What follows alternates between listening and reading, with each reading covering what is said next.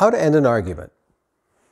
Your spouse, boss, friend makes a ridiculously erroneous statement he or she considers to be a fact. Well, what do you do? I think first we measure the importance that announcement has to us personally. Does it really matter to me that he's dead wrong? How does this affect my life from this moment on? How does this affect how I think about this person? Can I just ignore him?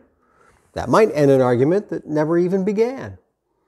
For this discussion, I'll avoid the popular topics of the day Trump, Black Lives Matter, vaccines and just suggest that the comment reflects his opinion on a matter of importance at your office, something a little less earth shattering. Phil completely dropped the ball on that Acme account, he tells you. Well, your take is that poor Phil was undermined by a shipping department that simply couldn't expedite the order in time.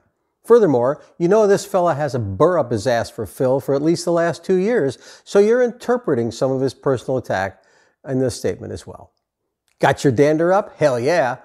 Phil had almost nothing to do with that problem. As a matter of fact, he was on the phone the whole time calming down the client.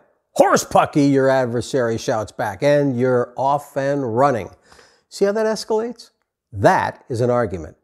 It's your narrative assembled with your data and prejudices and rules against his narrative assembled with his data and his prejudices and his rules. Once you rebuked his assertion, I maintain it was no longer about Phil. Remember Phil? It was about your respective data, prejudices, and rules. We all want to be right.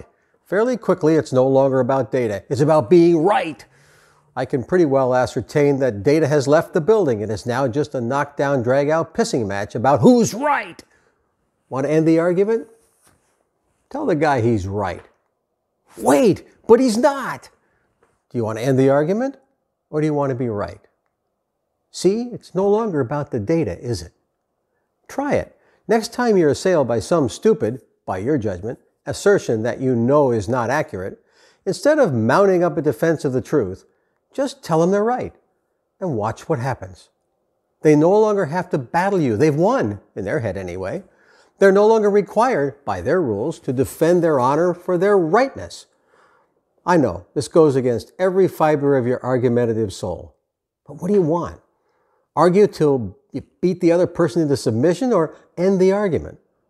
Which works out best for you in the long run, anyway? While it may look like this is just caving in, I assure you the two of you are now in a position to discuss Phil rationally. Getting to that discussion will take some finesse and I'll cover that in a future video. It's Kim, and this is another moment of clarity.